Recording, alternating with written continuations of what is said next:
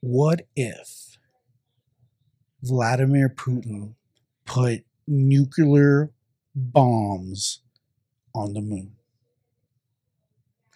Welcome back, folks, to another episode of Jamin's Daily. Today, I want to propose a scary Bond villain move that could that could happen. And, and, you know, I to all the villains out there, I hope I'm not giving you any ideas. Surely you may have already thought about this, but it just came to mind when I've read on the interwebs about the militarization of space Russia has put out some new satellite, this and that. And so then I started thinking, well, it's possible to go to the moon, they say.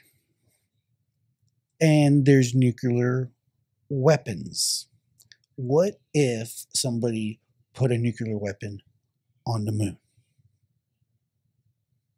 So, in my scenario, folks at home, Vladimir Putin let's say one, we know he has access to nuclear bombs. And then two, the Russians have a capable space program. Pretty sure if they really, really wanted to, they could probably put a nuclear bomb on the moon. Okay? So, what if Putin placed a nuclear payload on the moon as the ultimate insurance policy. You have to imagine, you have to imagine, folks at home, a scenario in which maybe here going on the, the, the current war, NATO intervenes. Maybe the the the, uh, the tide of the war has changed because NATO has uh, directly um, intervened in the war. Putin is losing. NATO forces are closing in on Moscow. And what does Putin decide to do? ultimate insurance policy says, you know what? Rocket. We're going to the moon. We're going to put a nuclear bomb on it. And if we keep it up, we're going to blow up the moon. And then we all tragically, uh, the end of the world as we know it. All right. But then, even cooler, we can change the scenario up to another person, perhaps within the realm. Again, there has to be plausibility. Okay, Elon Musk. So in this scenario, Musk is under some type of warrant. They're after him, right? I mean, everyone's coming after this guy, and you can see at some point his enemies have found a way to prosecute, persecute, prosecute him. He he's under warrant, Interpol. He's a he's on the lam. I mean, he's a fugitive. What does he decide to do to give himself the insurance policy that he needs? SpaceX. Boom, he has the capability to get to the moon.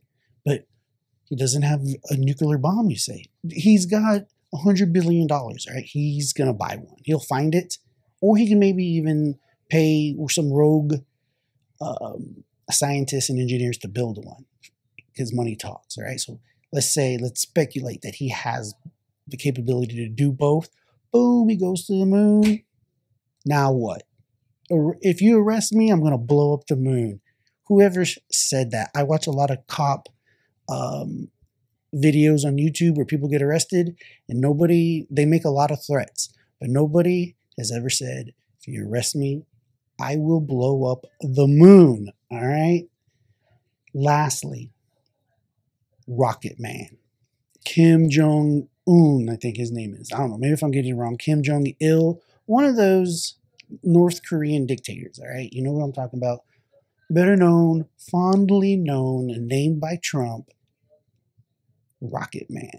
All right, Rocket Man has nuclear weapons, and he has rocket technology a fledgling space program of sorts, right? I mean, if you have a rocket, really, how do you get to the moon? You got to have rockets, all right? You just got to get into space, and then you figure it out from there, right? But let's say he's able to pull that off. Well, then at that point, he doesn't. I mean, I don't even need to create a scenario in which uh, Rocket Man would be motivated to put nuclear bombs on the moon. It can just, if he's able to do it, I think he will. So, folks You heard it first here on Jamin's Daily. The moon, we need to fortify the moon. We need to put like Patriot missiles on the moon to guard them from enemies trying to put nuclear bombs on them. All right. I, I think I I'm ahead of the game. I'm forecast I see this. This is the future, folks. I hope I wish it wasn't, but mark my words.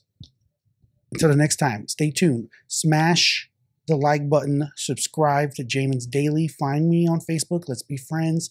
And until the next time, again, stay tuned because the best is yet to come.